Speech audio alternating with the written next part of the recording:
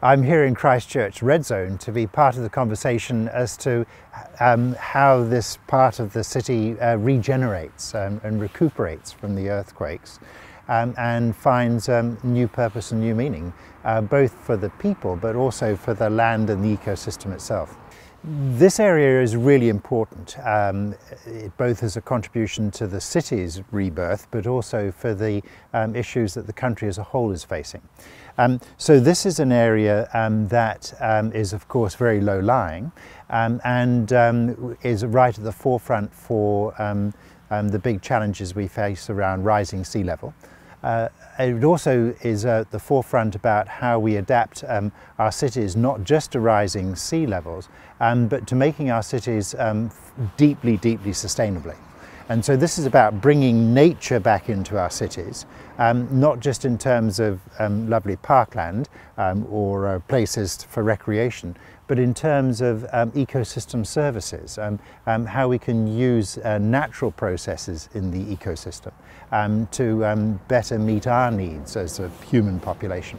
So what you're trying, what you need to, what you're trying to do here in Christchurch um, is to um, let this land recover um, in a ways that can um, be then be more fruitful for um, the city.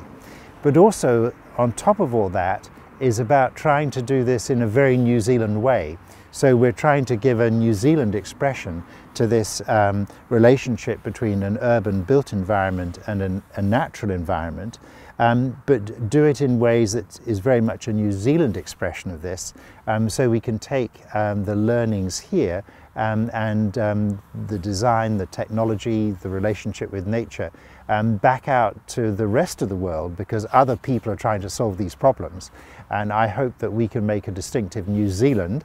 uh, in general, um, but a particular um, Christchurch um, contribution to those global challenges. What's happening here is really important, of course, for Christchurch, but it's really important for all of New Zealand we're actually um, a far more urbanized um, society than we, uh, we think of as ourselves. So in New Zealand, we are more urbanized than the French or the Germans, but currently we don't think of ourselves that way. We tend to define ourselves by our rural or wild parts of the country. Um, yet we've got um, a lot of urban development going on because of growing population um, or because of rebuilding here after the earthquakes.